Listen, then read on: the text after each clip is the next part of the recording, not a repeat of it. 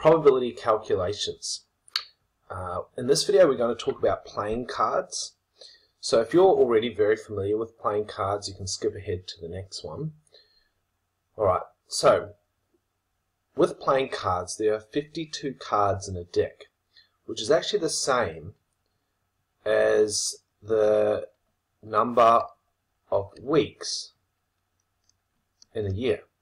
Okay, 52 weeks in a year, 52 cards in a deck. Now, in a deck there are four suits, and the four suits are clubs, which is this row, spades, hearts, and diamonds.